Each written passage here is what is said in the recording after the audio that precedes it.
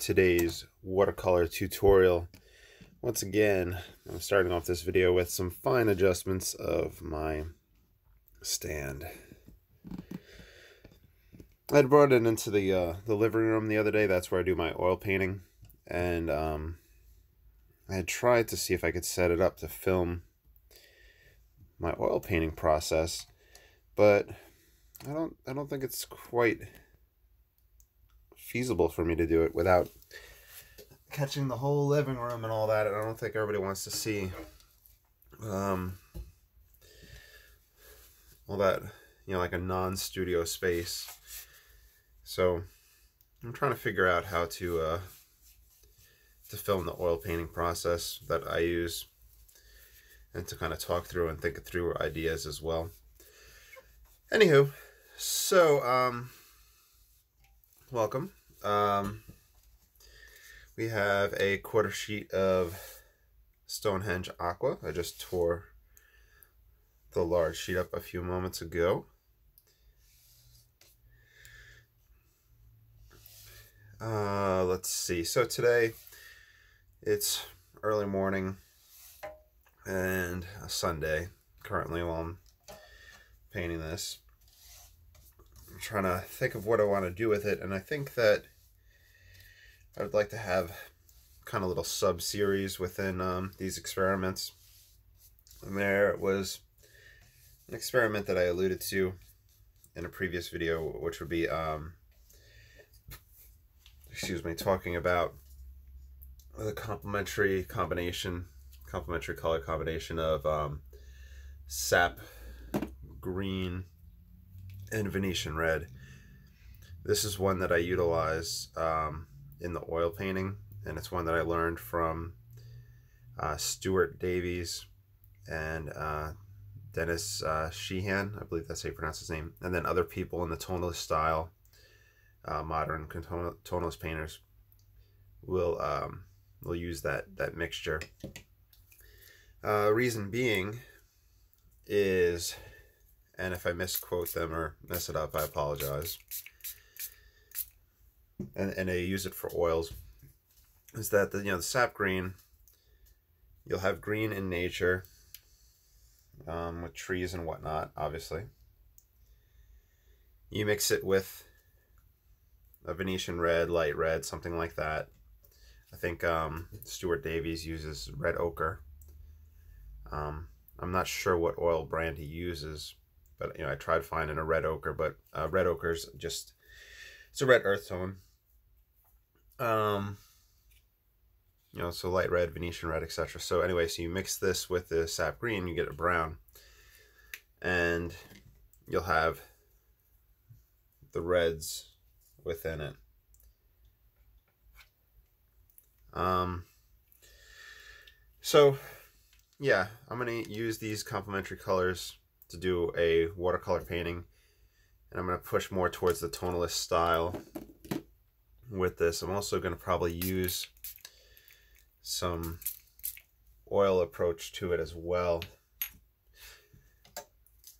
with um, the wiping and the swiping and the um, blotting and the dabbing the way I would use it um, with an oil painting.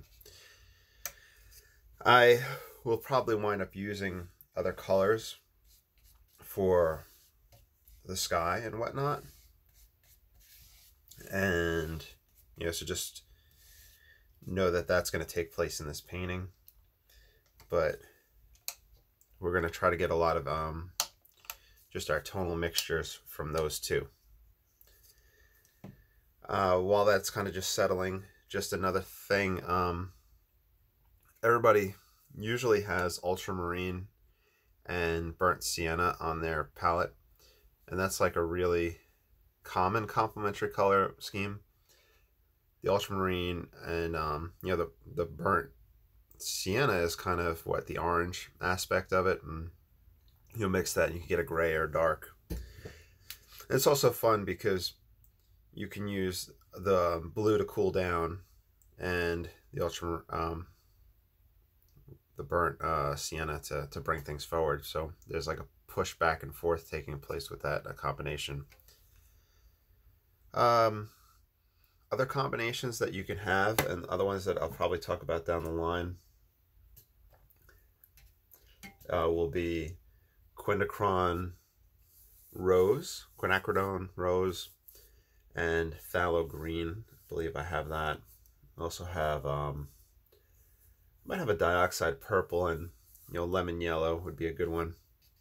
And like I said, this one is the most common, and I think because ultramarine is just a very popular go-to blue, while that earth tone is very common in um, palettes as well and beginner palettes. So I don't know if it was put on those palettes as a complimentary or just because of uh, just the convenience and where they sit within the whole art pigment spectrum. Anyhow, without further ado, let's do one last stretch of this. Um, one thing that I'm going to keep in mind is that I'm going to have to keep this fairly wet uh, because, like I said, I'm going to be wiping and swiping and dabbing and going back in and out. Uh, and we're going to have to start with a different approach where I'm going to take the Venetian red and the sap green. I'm going to mix those two together. And we're going to get our brown. And I'm going to try not to mix it up perfectly so that we get variations in our brush stroke. Now, I'm just going to start, so this is wet and wet. Usually I start with my horizon line and whatnot. Here I'm going to start with uh, my shapes and my ideas. One thing that I would probably have benefited from would have been marking off um, where things would sit underneath the mat since this is a different approach than normal.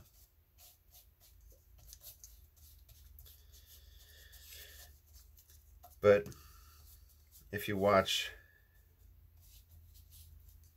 those oil painting videos, the, the two artists that I referred to earlier, it's more about throwing in the mass tones, the masses in the beginning. There's um, a lot of spontaneity to this approach, and applying it to watercolor is a little difficult. I do have a general theme in mind. It's a, um, based off of an oil that I have that I painted and it's on my wall and I was just looking at it. I was doing a cleanup of the house. You know, it's almost springtime and I, you know, need to clean up obviously when springtime occurs and I have frames around and canvases around and whatnot. So Eventually, it'd be nice to have like a place that's like a studio. So this is the Venetian Red.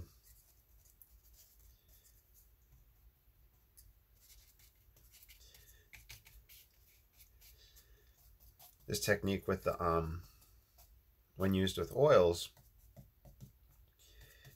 usually have that um, harsh bristle brush which helps scrape to give texture. And a lot of people use a smooth or a um, sanded down gesso board. And that allows the, um, the oil painter to wipe back to the white of the board. So these are my general shapes. Um, Let's see if we can mix some, well, before we mix darker concentrations, let's grab paper towel so you can start seeing how we can do some shapes within this. And this is um,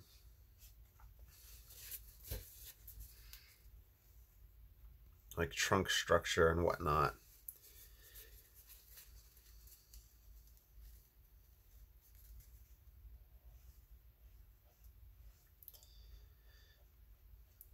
There's not much planning taking place. Like here, I, have this tree structure and I'm going to see the trunk. So I'm wiping out here.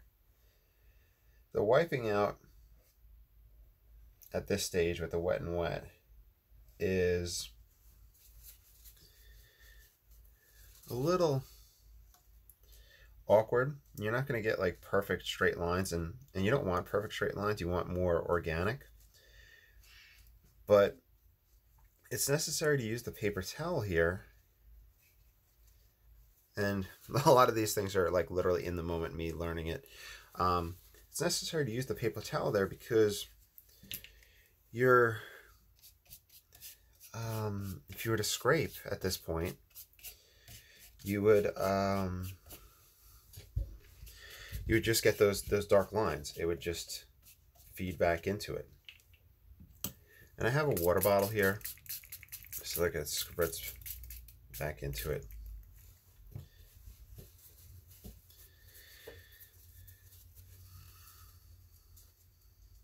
And I could take a Q-tip, and in fact, I do have one from when I experimented with this a long time ago. Though,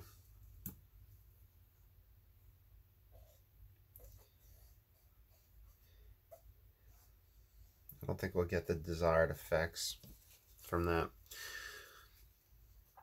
So, there's that. Um, there's the fact that we can blob and start adding texture to it.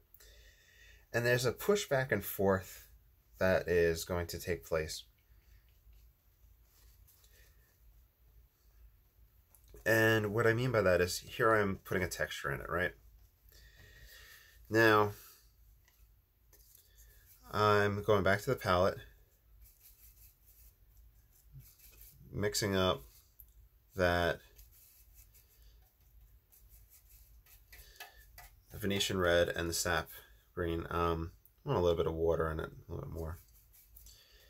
And now I'm coming back over it, and I'm going to start losing those textures that I put in. But some textures will remain. So I had blotted the whole thing, and I left just a little bit that had shown. And here, I'm adding textures of the strokes here.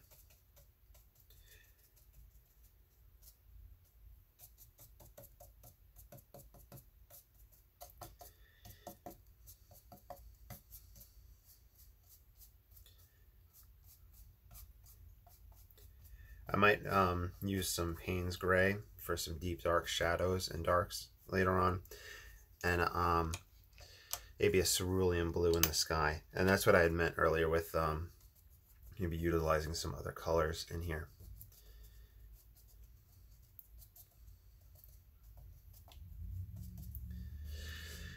This is, um,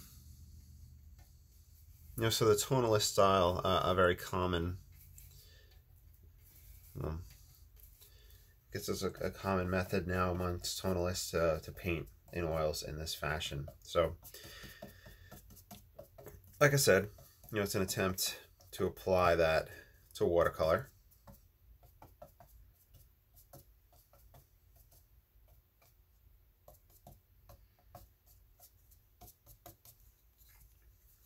Let's see. So we'll go right back to this. We might have to re-wet some areas twist the end of the this guy and drag it. Um, I'm even catching down here with my paper towel, but that's fine.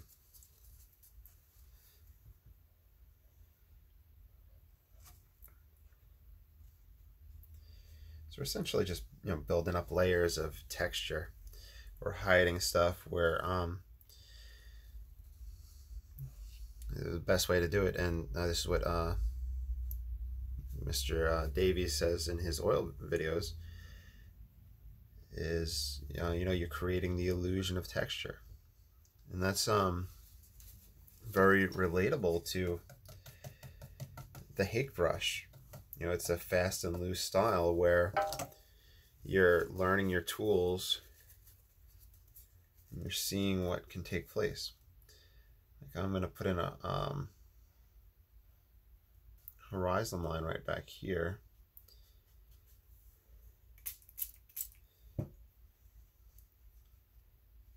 Kind of recede that back.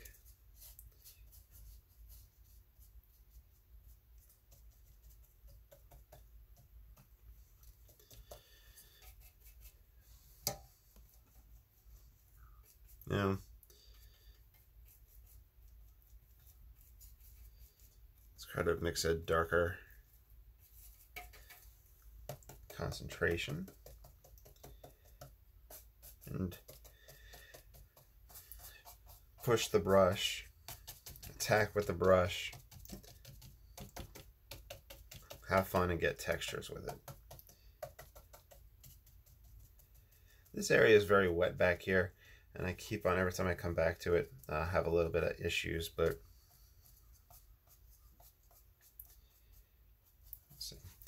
and I can bring out a little pathway and then I can come back over it so it's kind of a um, very additive subtractive process which is very fun reminds me of when I had taken at um, the University of Louisiana at Lafayette, UL. I'd taken a, um, they called it Drawing 3. And it was, you know, charcoal drawing from, um, you know, real life, from, from uh, models. And we'd have our big old board of paper and in one hand we'd have um, charcoal and in the other hand an eraser. We're putting in, there's more cross hatching and shading and whatnot, but then we'd put it in and swipe it back with the um, the eraser. Put it in, swipe it back, and it was building up of it. Now here we're starting to lose, I believe, the ability to wipe out with the paper towel. So we may have to start scraping at this point. Yeah, see, we could get a really good scrape taking place. But it really jumps out in front. So this is where we have to build up another layer. So we're to have to come back over this. So have fun with this. This is the time where, um, and you'll see it in a lot of Ron Ranson videos. You'll see it in in my videos and other people's videos where we'll talk about knowing when to stop at the scraping. But because of that additive and subtractive process I keep talking about, you could probably just go bananas, just have a lot of fun with it. Because we're going to dab back over this and start, um, you know, pushing it back. The only negative, and this is what just came to mind, is that the quality of the paper. When we scrape, we do run um, health risks on the paper. You know, we're doing physical potential damage to the paper itself. Um, I'm not a paper expert, but you know, it here I have the 100% cotton. The parts are interwoven. As you wet it, it soaks up it spreads out. Um, the fibers change their position while it's wet. And, you know, one thing about overworking a painting is the potential to harm the paper to that point. But remember, we're experimenting and learning. Not every painting needs to be done to the point of where it's going to be, you know, a masterpiece and sold.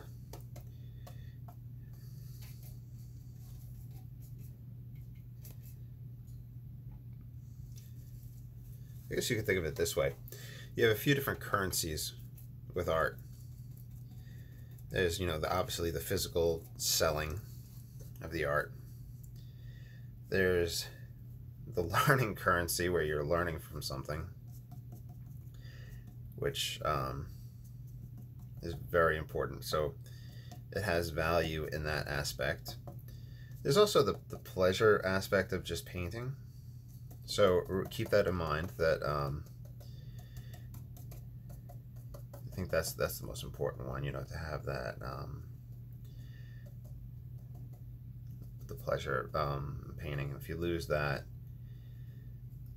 mm, you probably lose a little bit of yourself, right? So there's a pleasure in painting. And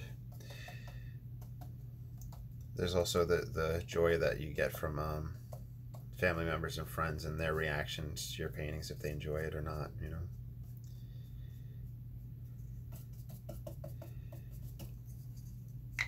Now, let's blot.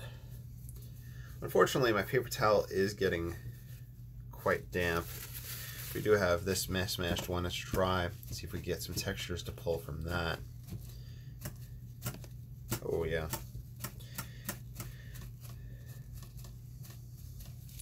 And I believe, you know, what was it? JMW Turner. He utilized breadcrumbs, like dry bread, to uh, soak up and dot.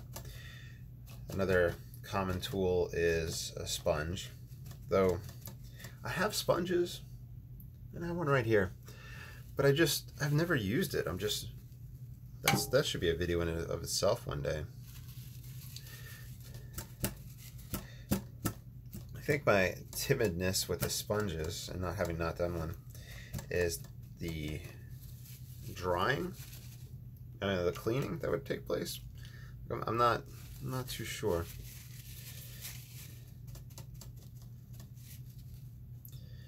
I'm to switch over to the rigger.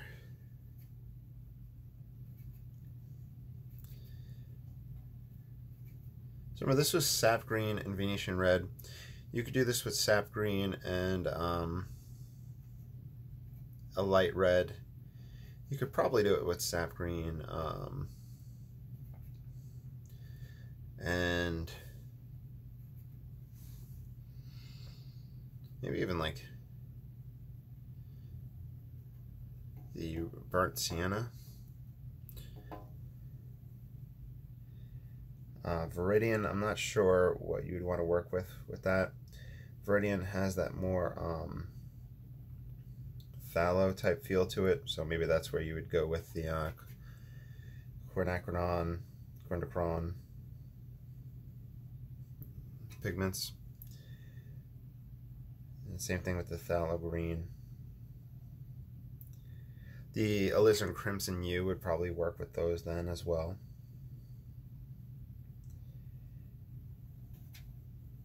But you will get a different feel.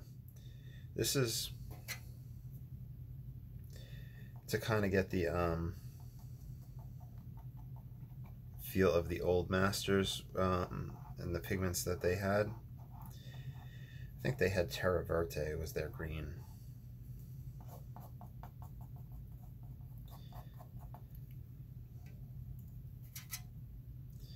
So I'm putting some darks in um, of this mixture. I'm still within those two um, original pigments that we worked with. We'll probably do a light wash in the sky.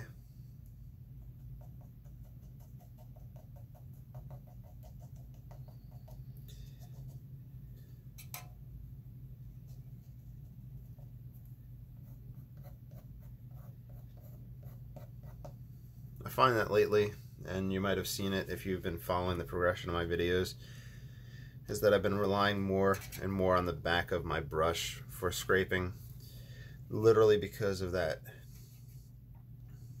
short, it's like, I guess, a nanosecond difference between grabbing a card and scraping.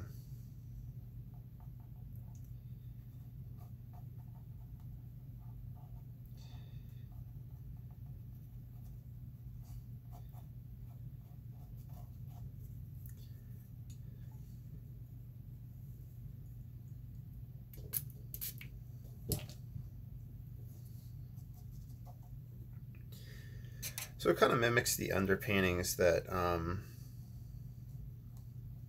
take place in oil painting. Um, I'm not sure what the the the art term is for it. I don't know if it was the Grisalia.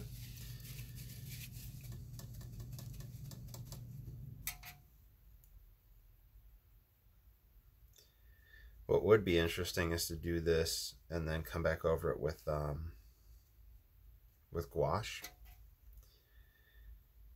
Like do an underpainting in this style. And then do the gouache over it, treating it like an oil paint on the second layer.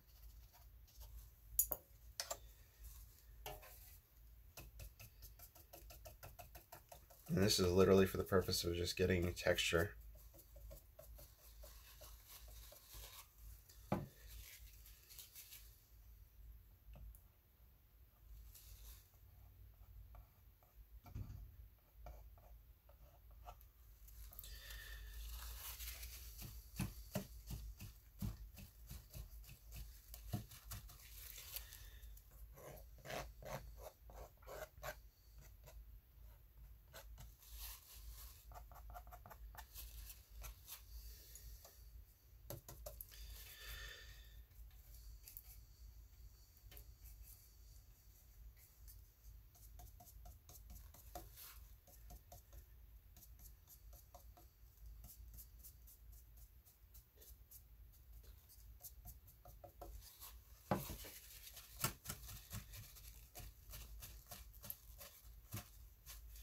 With water. I like to think about how we have to do more swiping.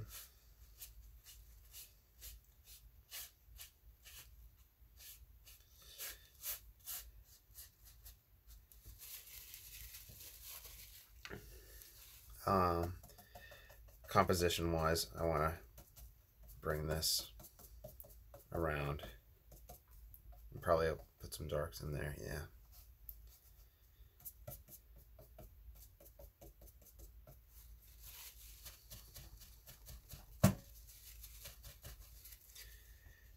A scraper too.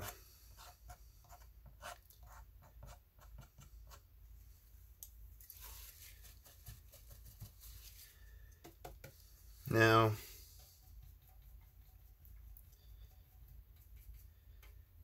unfortunately, I have not been able to achieve like a dark dark with this mixture.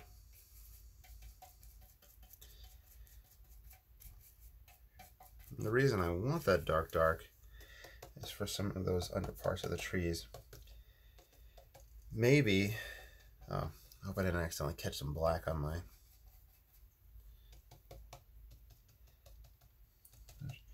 So this is just a higher concentration. It's going to be darker at the base. And then come right back in and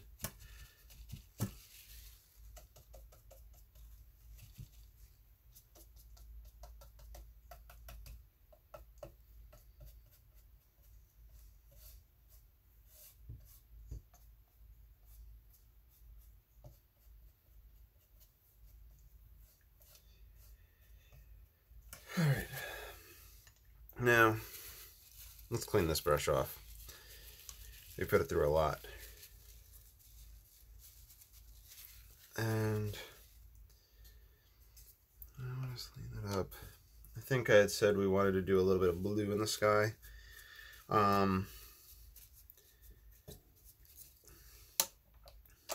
I want to keep it kind of light and toned down. I think I might go with, um, well, I'm going to have to go with something. So whatever I pick up, I have a little bit of cerulean.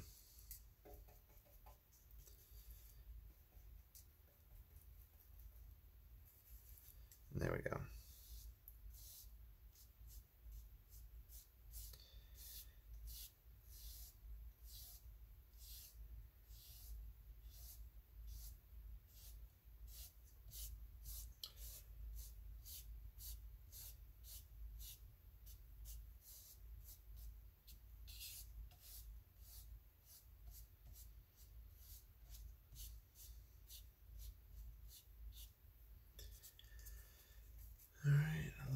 So it's kind of just putting it on as a wash. I'm doing a little bit more tickling with this than I should be, but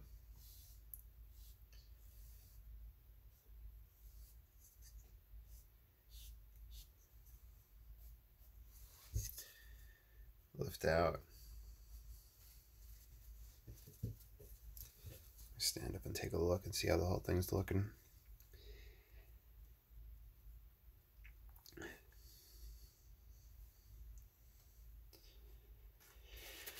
So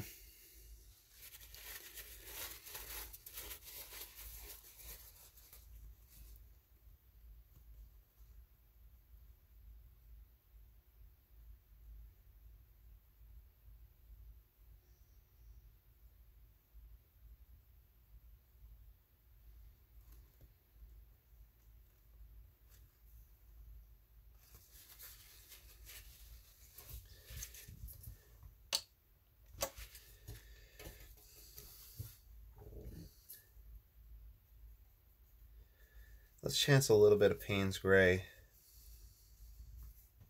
But we're not going to go overboard with it. Meaning, just to accentuate a few spots.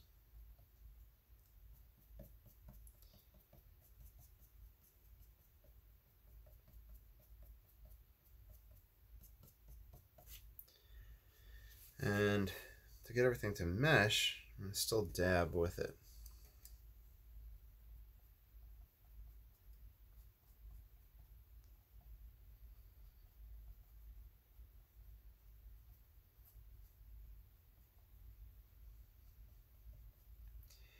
I really like the way this structure came right out right here.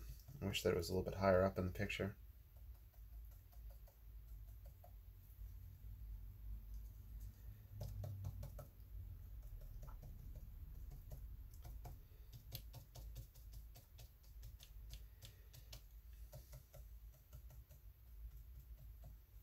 then I think that we might have to call this one done. Um,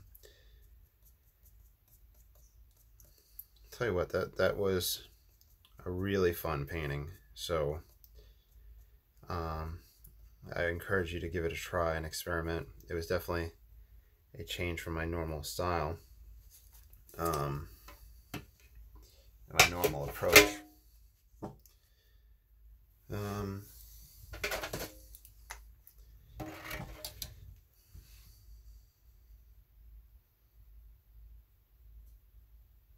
so you could just then play around with it and then build things up.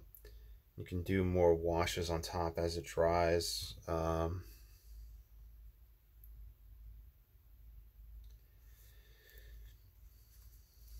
I would like to see if we can Actually, where is that?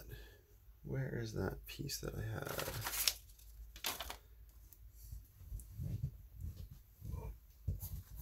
Okay, let's get a little bit of water on the end of this guy. This is our magic eraser. Let me clean that up.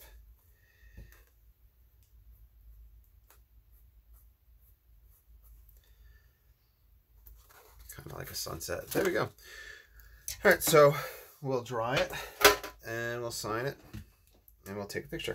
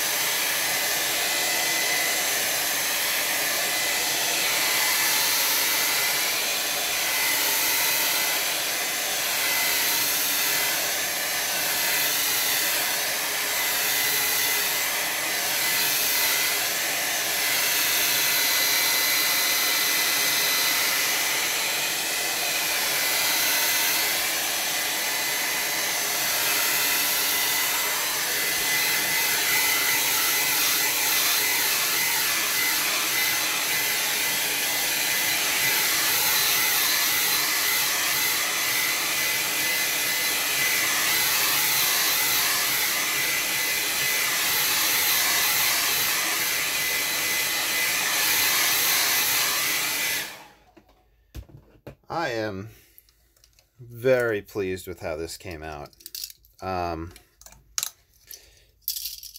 just, you know, looking at it as I had dried it off, it just, um, I really like sepia and sepia tone, and um, I have just never been able to um, do it or utilize it, or um, you know, I, I have the paint, but I think like you know the old style sepia, which was originally made from the ink of um, the cuttlefish. It uh, and they would use it in drawing and writing and whatnot. It was just really beautiful. And um, yeah, I feel like this has given us that tone a little bit of that old style of the old masters. So I hope you enjoyed. Um, that was that was really fun. Um, I'm definitely going to do some more of this, and it's good to have a another approach in your bag of tricks. So um, oh yeah, a whole bunch of links down below. Feel free to um, check out the things out. I have a Patreon account. Um, I have the uh, Etsy and all this other fun stuff for y'all to check out. All right, have a great day.